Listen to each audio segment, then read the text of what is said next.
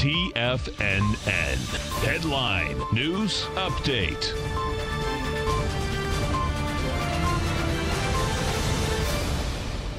Good afternoon, everybody. I'm Tommy O'Brien coming to you live from TFNN headquarters in St. Petersburg, Florida. 2 p.m. Eastern Time on Tuesday. Two hours left to go in the trading day. We got markets in positive territory. Dow Jones up above 27,000. S&P's above 3,000 right now. We got the S&P's positive by 36 points, trading at 3,001.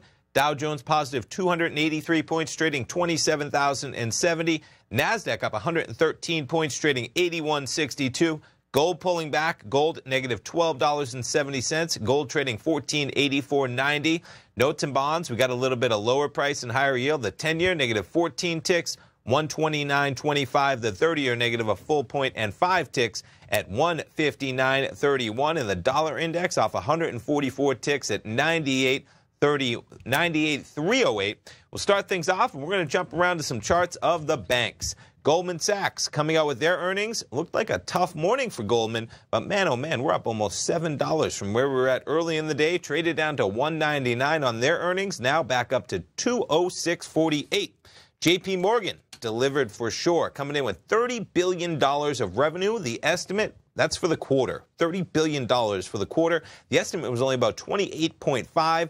They had record earnings as well. JP Morgan up about 3.8%. You also had Citibank out there with their earnings. Citi up 1.87%. And Wells Fargo with their earnings as well. Quite a rebound for all of these from early in the day. Wells Fargo now up 2.9%. Jumping back to the charts, we'll go through the indices quickly here. There's your Dow 30 above 27,000. And you see the acceleration from about 830 up until about 11 a.m. when I got off, the, got off the air with Tom, kind of at session highs. We were just kind of hanging at these levels for the last about three hours of the trading day. NASDAQ 100 powering higher, session highs as we speak, 79.67.